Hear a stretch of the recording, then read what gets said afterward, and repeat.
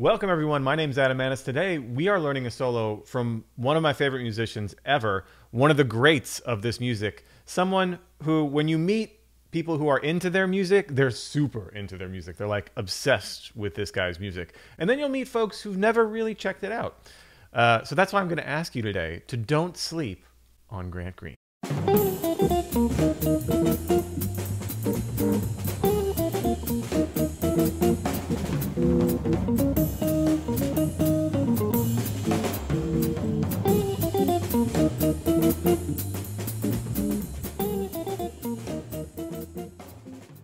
So this is a guided practice session. Get to your instrument. Make sure you can hear me. Make sure that you can hear yourself. We do have a PDF for this session. You're going to want to download that. That's yours to keep. Uh, also, you can get uh, a pack of our lessons on the blues. We're going to be focusing on Miss Ann's Tempo, which is a B flat blues today. You can get the blues pack for just 20 bucks. There's a link here in the description. Don't miss that. That's like over 50% off that pack of all these lessons, all on the blues from a ton of great open studio artists.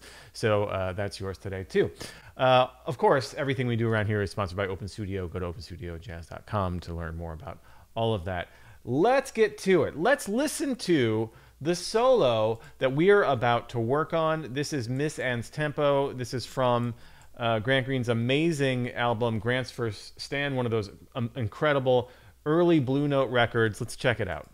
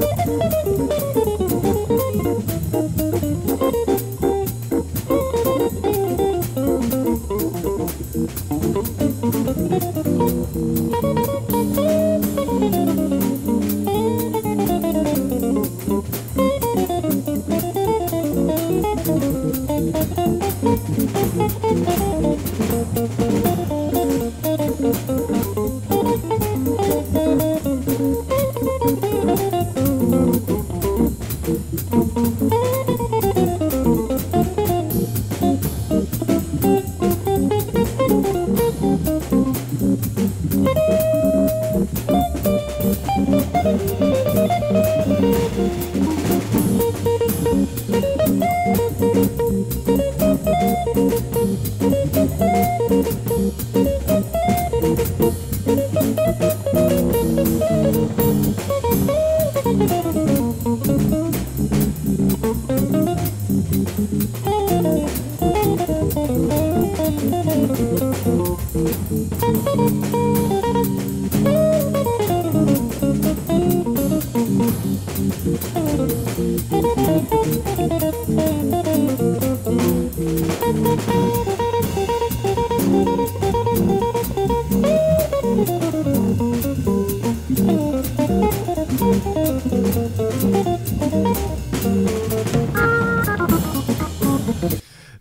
Babyface, Willette on the organ there on the B3, Ben Dixon on the drums. This was a, a, a trio that was playing a lot around this time, uh, backing people like Lou Donaldson and uh, doing their own thing. Incredible, incredible group of musicians. What a gift that is. We're going to listen to it again before we even get working on it, but what a gift that whole solo is. Like I said, you can hear that that that influence with uh, on, on the blues. Like he's so in the pocket and so funky and then he'll throw in these beautiful little bebop turns everywhere. To my ear, uh, he's just that right ratio of everything. And maybe he's a St. Louis guy. I'm from St. Louis too, and so maybe that's uh, it's in the water here. But I, it's just it hits me so hard every time.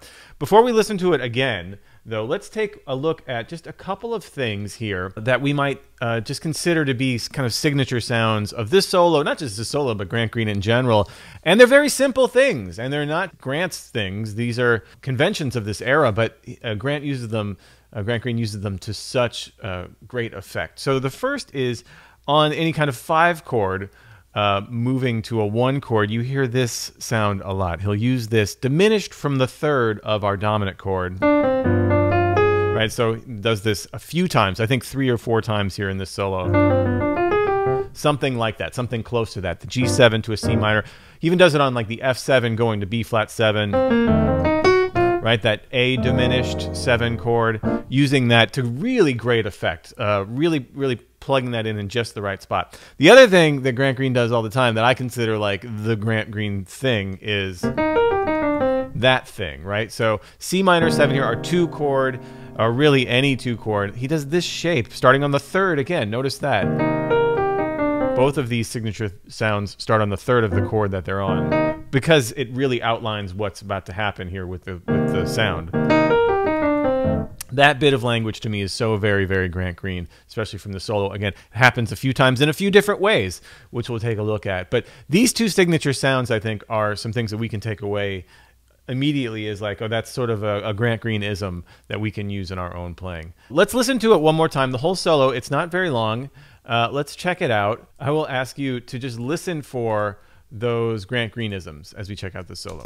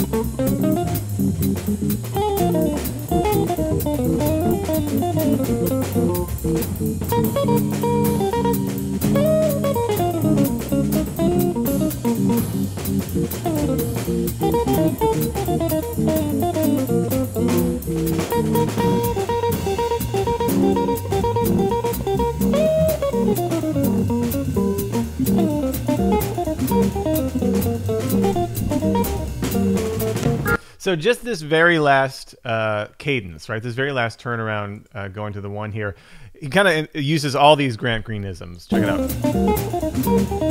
So right there, all of those things that we just talked about, going up the third on that diminished shape over our dominant chord, and then starting on the third of the two right? Does it there on, in C minor on our C minor seven, our two chord. Then does it later at the very end here. Such a signature sound, such a great bit of language, something that we can really take with us. Okay, let's start at 60%. Let's just get the first phrase here.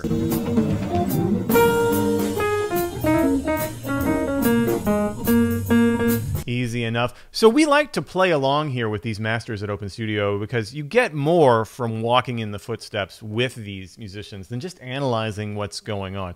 We can kind of break down, oh, this might be a signature sound for them or something they play repeatedly or this is how they approach this or whatever. But really, the act of playing with these records is how we get better. That's the number one way we get better. Just want to remind you of that. If this kind of thing is what you like to see around here on this YouTube channel, go ahead and hit the, the like or subscribe button. That doesn't hurt a thing. Let's try it again.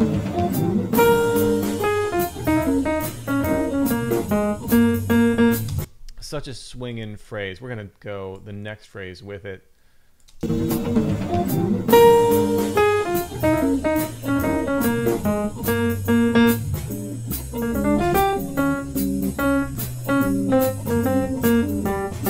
Let's try it again from the top.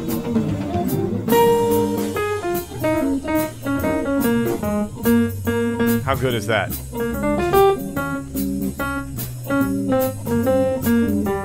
See if you can lock in with that time. Let's add the next phrase. We're already through the whole first chorus. Through the first chorus already.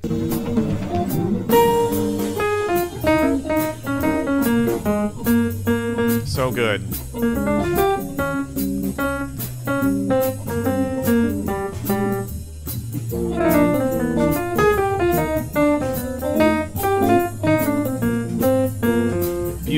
So check it out. Right here, uh, we have our very first Grantism. Right? Remember that? Again, not something that he invented, but definitely something that he uses a lot in this situation, and that's interesting.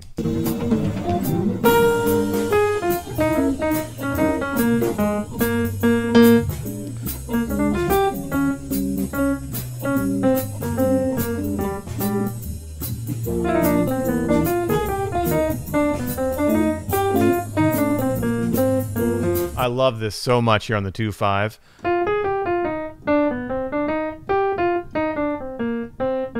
That right there. So swinging. Uh, one more time on this whole first chorus. Here we go.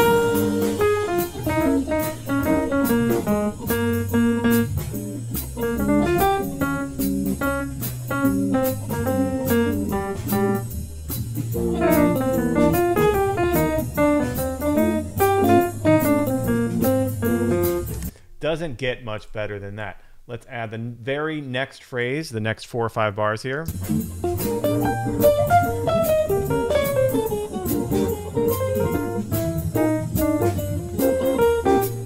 I have to get that again. I'm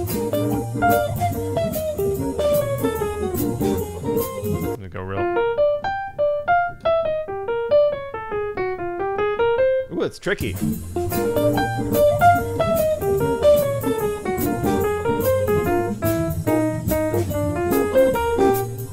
So great though.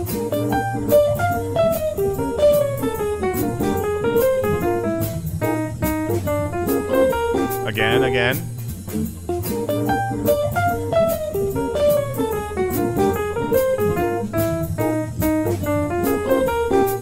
Again.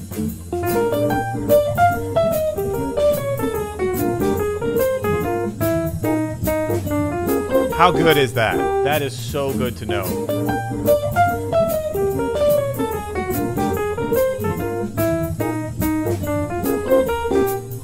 All right, let's try it from the top. Whole thing, whole thing up to this point. Blue scale.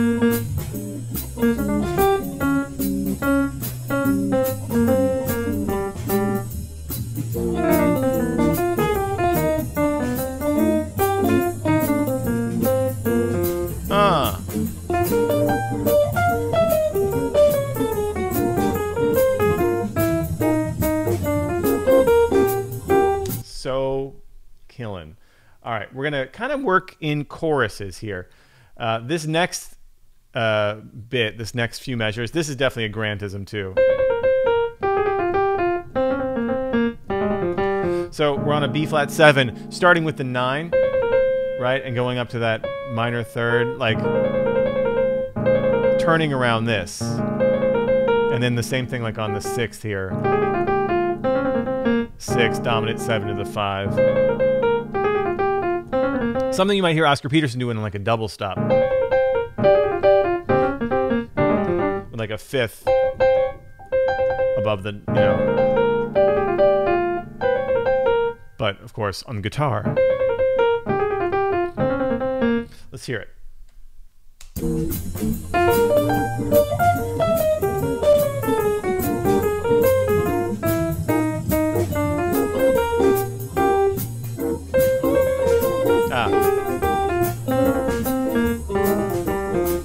That's it. It again.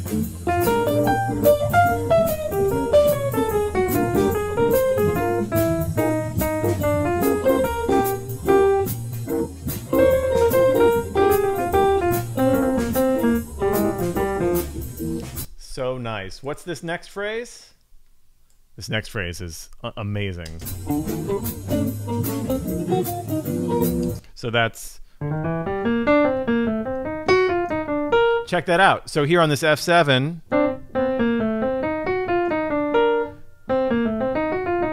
that's that A diminished, right? On, starting on the third and up a diminished seven. Another another one of those instances. So this is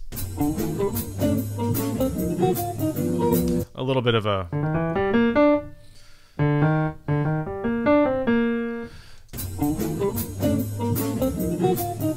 Nice, kind of up this C9 thing here over the F7, adding the 5. Let's try that.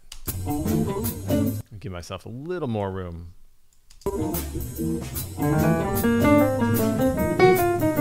Again. Again.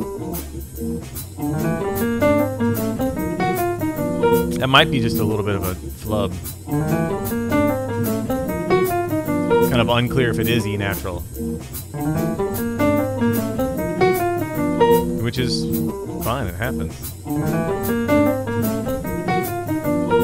Alright, let's check out this whole chorus here.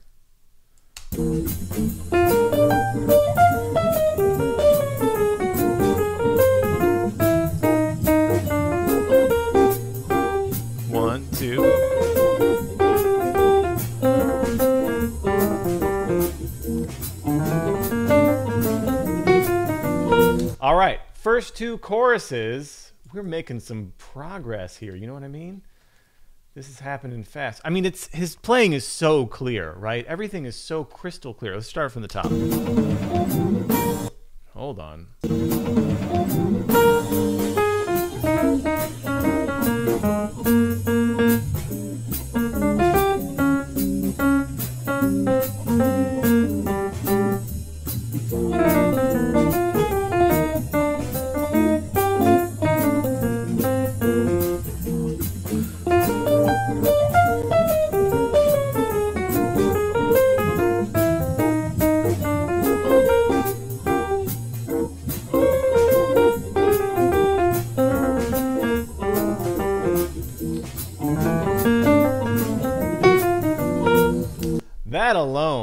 Is worth the price of admission. That's incredible. Okay, here we go. Next chorus.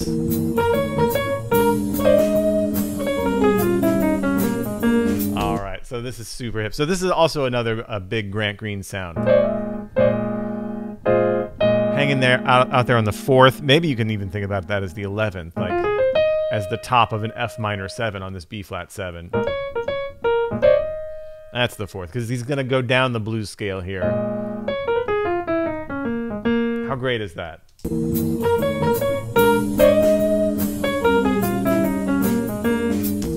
You know, when all else fails, just lean on that blues scale. Let's keep going here. The next phrase. Just down that blues scale. Ah, uh, see, now here's what I'm saying. This is where like this combination of blues language, bebop language, which really there's of course bebop, um, blues language in classic like you know straight ahead bebop, but is really more leading on that sort of organ trio blues sound here. All blues scale, or quote unquote blues scale, whatever that means. And these little this little chromatic run and this little enclosure here around the third of E flat. Let's try it again.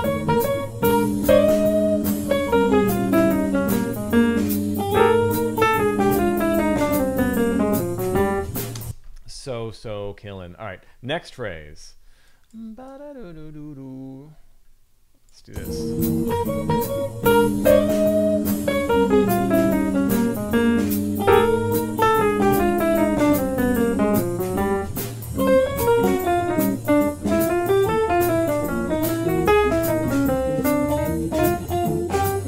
Okay, so there's some really cool things happening here.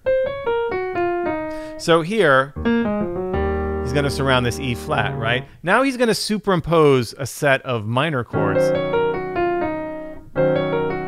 So that's E flat minor is what he's implying there. And then I'm going to apply D minor over that B flat 7. And then D flat minor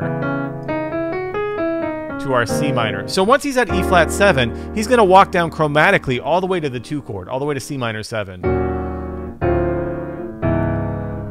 That is what Grant Green is implying there. Let's check it out again. E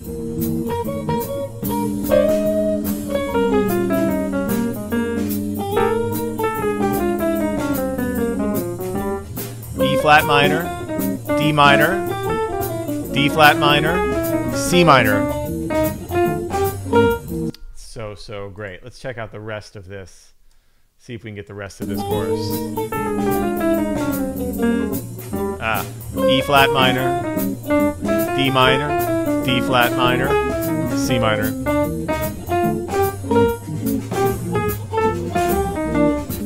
All right, so we just got, he just, you know, laid some pretty chromatic, again, more of a bebop thing at the end of that. Look what he does on this very next chorus. Let's check out the next phrase. Oh, let's check out the next phrase. The next chorus.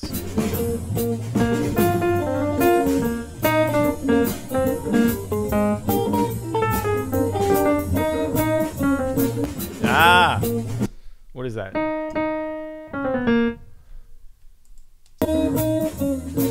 This is kind of a little fall. So again, getting a little bit more melodic here.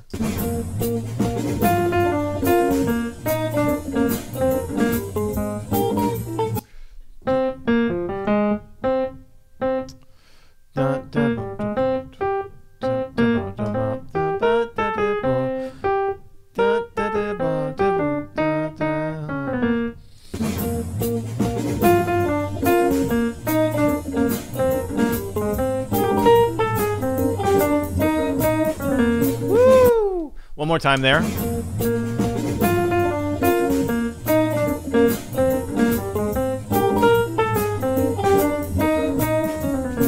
Come on. Now check it out. Right after this, going back to that from before, right? Coming back to that from earlier.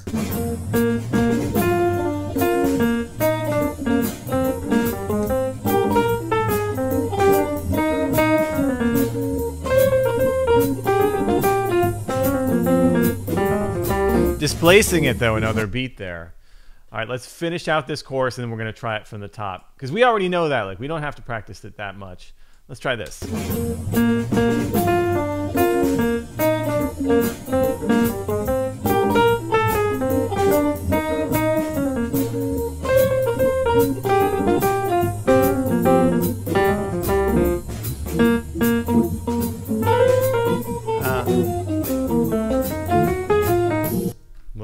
There. So one, two, three, four.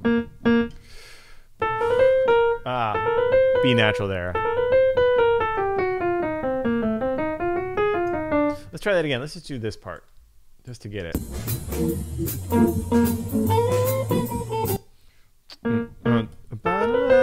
Ah, there it is.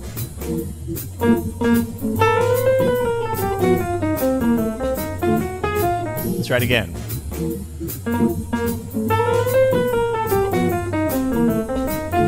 How great is that?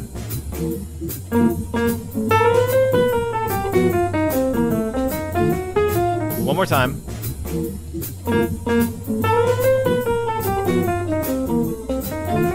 All right, let's try it from the top. From the top. All the way from the top.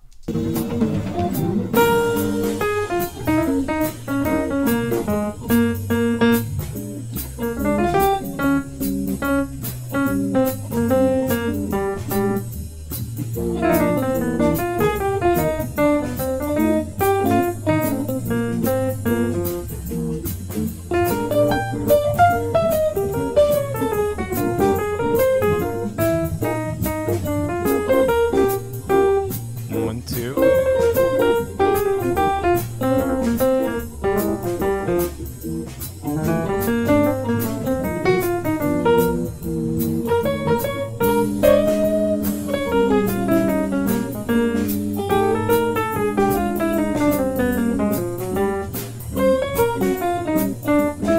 minor, D flat.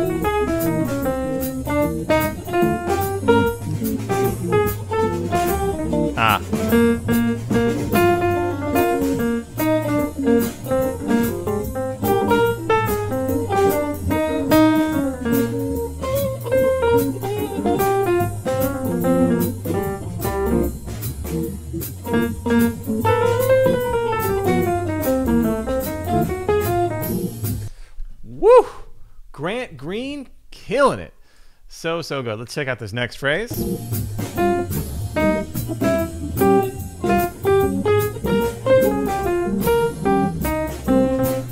Amazing.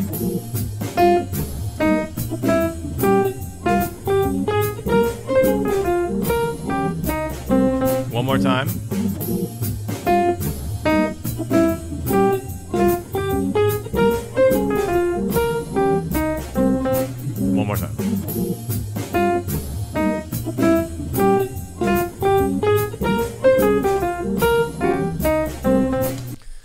So good. So when we went back and we played that, if you found it like, oh, I totally forgot everything, that's good. That's what you should do. You should forget a little bit so that you have to remember it and you lock it in even more. Let's check out the rest of this chorus.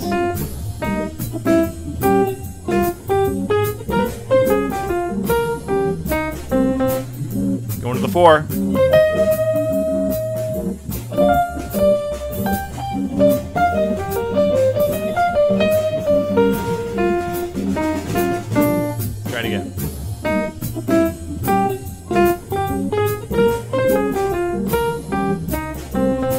One, two, three.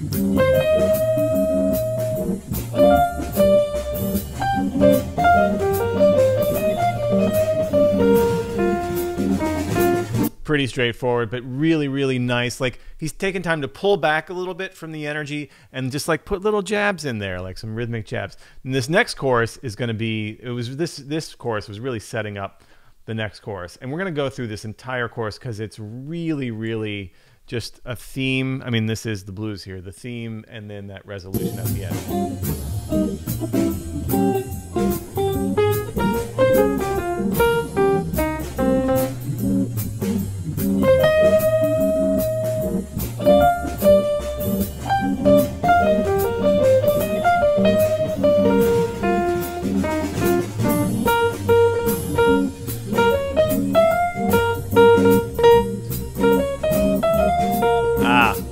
Syncopation there.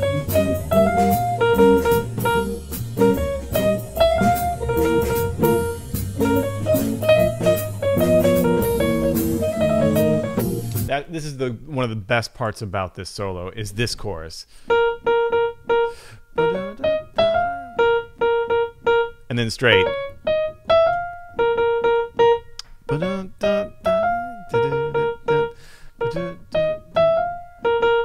Then check out the resolution.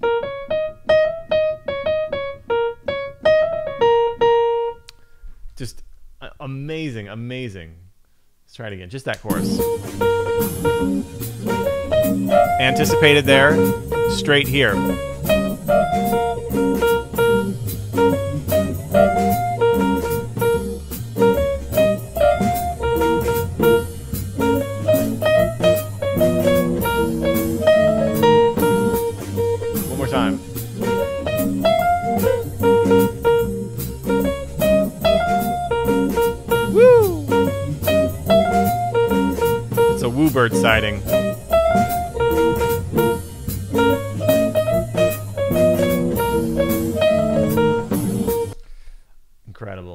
Let's go from the top, from the top, and see if we can get through all of that. You got it, you got it. Even if it's, even if you're not remembering it perfectly, that's okay. Try it again.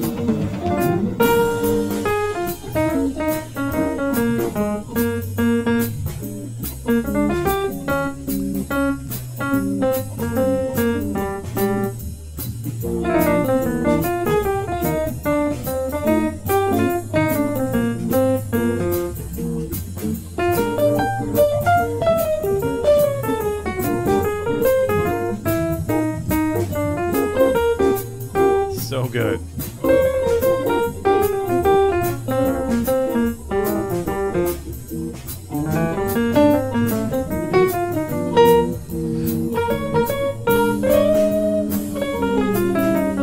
Blue scale.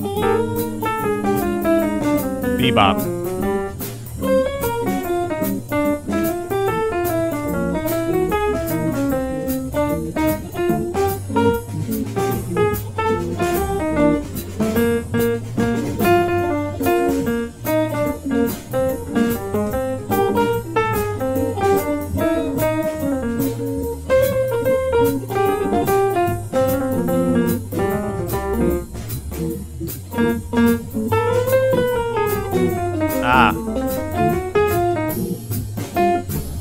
Jabbing.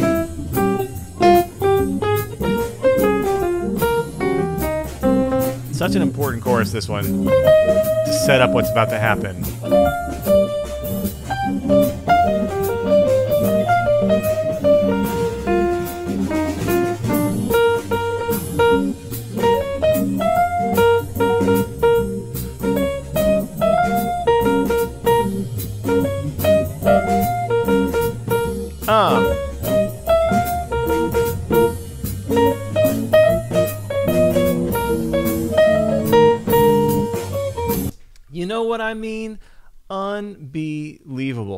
Just a few choruses left. We're going to hit that over on Open Studio Pro. Amazing. Again, check out the Blues Pack, which is a collection of 10 lessons uh, from Open Studio artists, all on how to play the blues form here in jazz.